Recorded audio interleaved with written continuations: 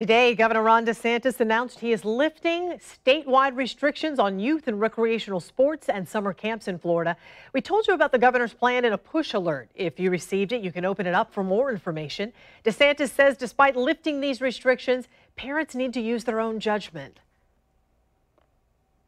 This is a parent's decision. No parent is required to have their kid. If you don't feel comfortable doing it, then don't do it, and that's fine. And, and I think that the parents are in the best places to make those decisions.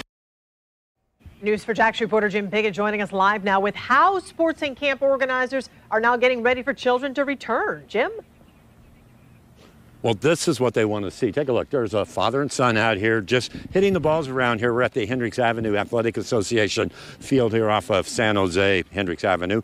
And this is what the mayor and the governor are talking about. They think it's important to get kids back out on the ball fields. But in order to do this, the city still has a lot of work they need to end up doing to get it all organized. Jeremy Bridgman and his son Ezekiel love playing ball, and they were happy to learn Governor DeSantis is going to allow youth sports to get back underway. And with Ezekiel being out, that would be not a concern for you. No, I don't think it would be a concern for me. Would it be a concern for you, Ezekiel? No, I really like baseball. It's really been hard staying inside and not being able to do anything because we can't go to the library, so I can't get any books to read. That's why Governor DeSantis and Mayor Curry believe it's time to let kids be kids. How can we get kids involved in a way that parents feel good about it?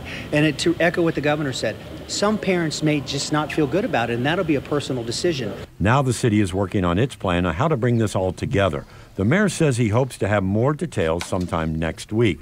We talked today with the head of the Police Athletic League. That group is gearing up for local sports and summer camp programs that would involve over 1,000 kids. With any sports, you know that that's going to be a challenge. You know, keeping kids um, away from each other, touching each other's surfaces, and things like that. We're still going to do our um, best to make sure that we keep kids safe. And that's exactly what the city is working on. They're going to get that plan and they're going to make it available sometime next week in order to get the kids to camp and on the ball fields. We're live on the south side at the Hendricks Athletic Association. Jim Piggott, Channel 4, the local station.